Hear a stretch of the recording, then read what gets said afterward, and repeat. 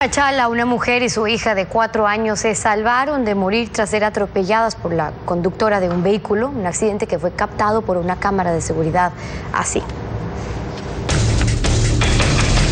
Sucedió en la intersección de las calles El Guabo y Napoleón Mera, en la ciudad de Machala, provincia del Oro. Una familia de cuatro integrantes cruzaba de una esquina a otra cuando de pronto ocurrió el accidente.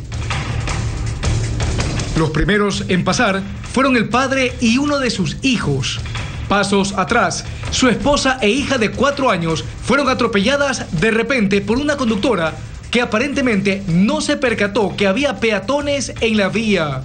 Las imágenes muestran cómo la menor queda tendida en la calle mientras su madre es arrastrada unos metros hasta que otros transeúntes y el padre de los menores advierten de lo ocurrido a la conductora. Mientras la desesperación se apodera de los testigos, un hombre disfrazado de payaso toma en sus brazos a la niña y la pone a buen recaudo. Paralelamente, cerca de 15 personas consiguen levantar el vehículo lo suficiente para rescatar a la madre cuyo cabello se enredó en una de las llantas. Madre e hija sufrieron heridas leves y la conductora fue retenida temporalmente para investigaciones.